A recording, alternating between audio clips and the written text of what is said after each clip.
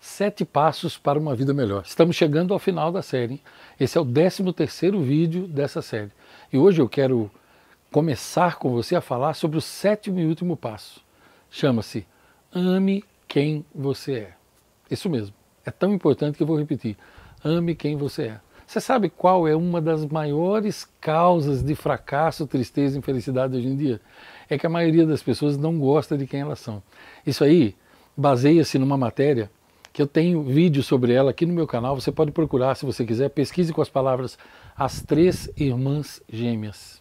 É, quando você nasceu, não te falaram isso, mas deveriam ter te falado. Nasceu com, nasceram com você três irmãs gêmeas. Elas nasceram assim. Você sabe que gêmeos ou trigêmeos nunca nascem juntos, né? É um de cada vez sempre. Então sempre tem aquele que é o primogênito. A primogênita, nesse caso, chama-se autoimagem. Sim, sua autoimagem é como você vê a você mesmo.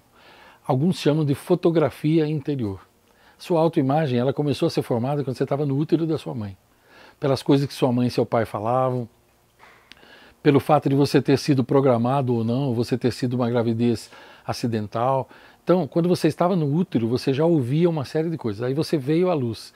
E desde criança, as pessoas falavam coisas para você. O que é que diziam para você? Você, de repente, diziam que você era feio ou feia, que você era muito gordo ou gorda, que você era muito baixo, que você era desajeitado, que você tinha um nariz muito grande, que você era muito magro, que você, sei lá, uma série de coisas que as pessoas falam, infelizmente.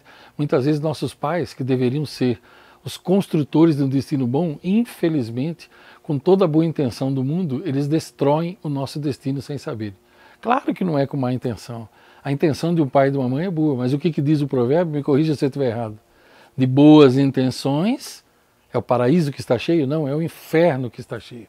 Isso quer dizer que não adianta a intenção, o que vale é o resultado.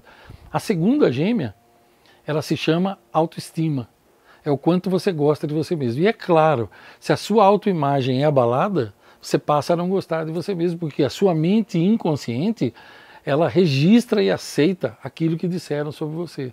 E você passa a se ver como muito baixo, muito gordo, burro, nariz muito grande, não gosta da sua boca, não gosta do seu cabelo. Isso é agravado quando você vai para a escola e os colegas de escola ficam tirando sarro de você, fazendo gozação. Entende? A infância pode ser uma época terrível para muitos de nós. E realmente foi, infelizmente.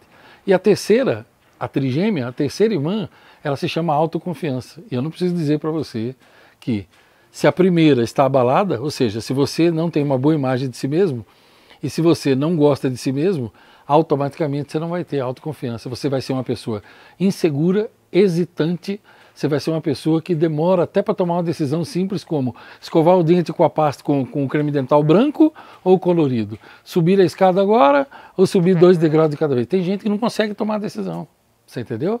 Bom, amanhã, no vídeo de amanhã, o penúltimo da série, eu vou aprofundar esse assunto com você, que é o sétimo passo, que significa ame quem você é. Eu te espero amanhã à noite.